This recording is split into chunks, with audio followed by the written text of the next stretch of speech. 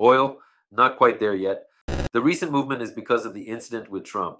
Let me explain why. Silver's not ready yet, but gold, you see, is slowly making its way up.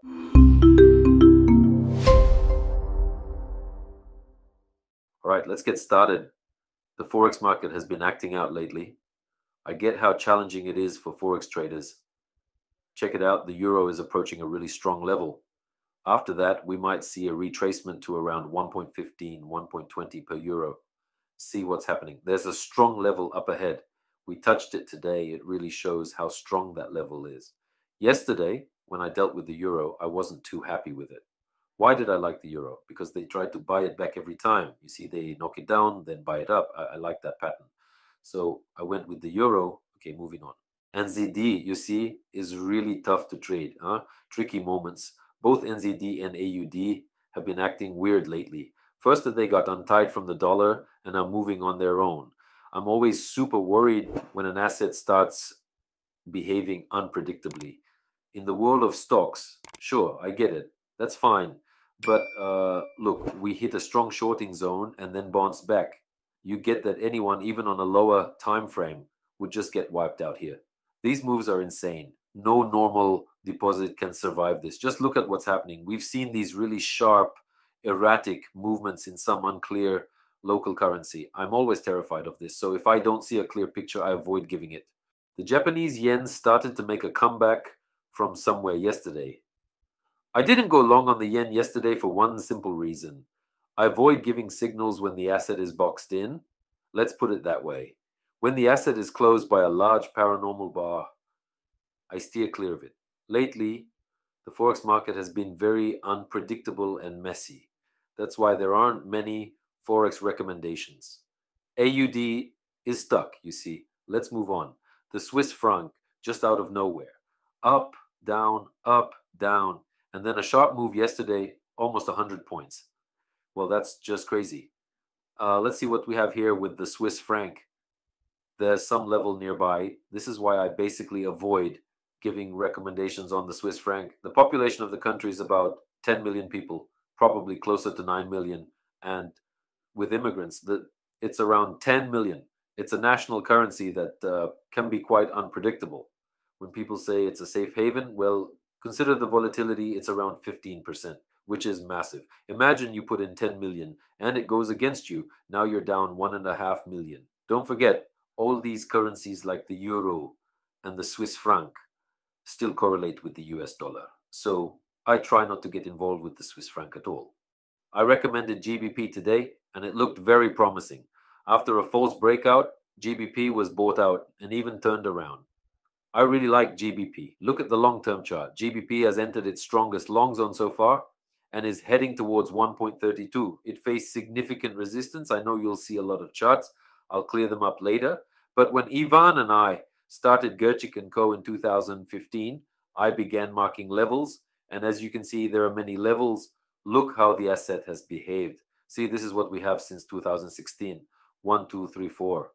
From 2016 to 2022, we moved from the upper boundary of the channel to the lower one. So for six years, we were stuck between 1.42 and 1.20. And then only when the local lows were broken out did they push upwards strongly. Now we've entered a strong long zone. A lot of people try to trade these moves. It's very tough since all these movements are traded on Forex. So we're now in a good long zone. Our nearest level is 1.32, so GBP has a chance to go further. Let's check out the euro. You see, this is the nearest level for the euro. Our next stop is here, and then at 1.3, most likely we'll head there. Because if you take a look at this, we simply move from level to level. And as for oil, still nothing. They pulled back, so most likely oil will be having a hard time before the elections, as it usually does. There's always movement in oil before elections. Bitcoin, you see, also had very high volatility. Bitcoin moved intensely, and this movement happened because they were targeting Trump. I'll explain why. Uh, the thing is, Trump has policies that protect cryptocurrency. He doesn't simply believe that this is the cryptocurrency of the future, but rather thinks that this is a vital tool in our current economic system and cannot be removed from it no matter what.